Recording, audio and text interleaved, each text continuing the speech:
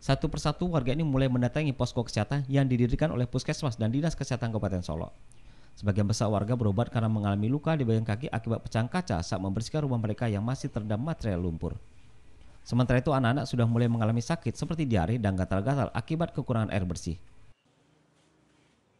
Uh, saat ini kondisinya uh, sebagian banyak yang luka tapi udah dari pagi di sini udah ada 15 orang yang berobat ke sini uh, semuanya umumnya uh, luka karena pecahan beling pecahan kaca yang ada uh, di rumahnya karena rumah rumah masyarakat di sini semuanya terendam air kemudian sampai sekarang masih terendam yang di sana ada tiga buah rumah yang masih terendam air seperti yang tampak di Kanageren Guguk Sare, Kecamatan Sembilan Koto, Sungai Lasi, Kabupaten Solo ini. Sebanyak 35 rumah dan 112 orang kepala keluarga yang terkena dampak banjir bandang ini terpaksa mengantri untuk menunggu datangnya suplai air bersih ke kampung mereka.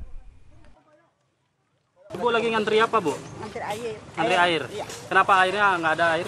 Tapi banjir. Aha. Iya. Sumurnya tercemar atau gimana Bu? Berenam tuh.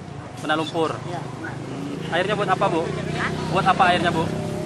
Buat, buat minum, buat mandi. Minum, buat mandi ya? Iya. Sebagian warga yang tidak kebagian air bersih terpaksa harus mencuci dan mandi dengan menggunakan air sungai yang kotor dan bau akibat tercemar lumpur. Dari Kabupaten Solo, Budi Sunandar, iNews melaporkan.